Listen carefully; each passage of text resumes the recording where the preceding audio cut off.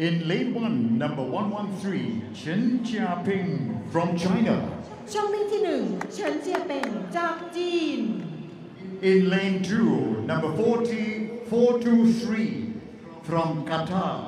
Ayun Ogunode. ช่องวิ่งที่สองอายุนเฟมิโอกันโนเดะจากกาตาร์ Lane three, number 241, Ruichiro Sakai, from Japan. ช่องวิ่งที่สามเรียวอิชิโร่ซาไกจากญี่ปุ่น In lane four, number 196, Tatian Hassan, from Iran. ช่องวิ่งที่สี่ทัพเทียนฮัสซานจากอิหร่าน In lane five, number 221, Hiroki Yanagita, from Japan. ช่องวิ่งที่ห้าฮิโรกิยานากิตะจากญี่ปุ่น in lane six, number 293, Akbar Mohammed Abdullah from Saudi Arabia. Chong Min Jiho, Abdullah Mohammed from Saudi Arabia. In lane seven, number 350, Azim bin Mohammed Fahmy from Malaysia. Chong Bin Jijet, Azim bin Mohammed Fahmy from Malaysia. And finally in lane eight, number 533, from Chinese Taipei, และ Chun Han Yang. และหยางชุนหานจากชนิสไทเปร้อยเมตรชายในรอบชิงชนะเลิศนะครับ ลู่วิ่งที่หนึ่งจากจีนครับสองกาตาร์สามญี่ปุ่นสี่อิหร่านห้าญี่ปุ่นหกซาอุดิอาระเบียเจ็ดมาเลเซียแล้วก็จากไชนีสไทเป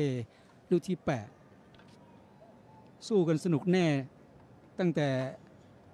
ลู่ที่สองนะครับ เจ้าของสถิติในกรีฑาชิงแชมป์เอเชียโอกุโนเดสองสามสี่ห้าหกน่าจะรวมไปถึง 7 ด้วยครับ มาเลเซียโมฮัมเหม็ดอาซิมบินโมฮัมเหม็ดฟามี่ฮะ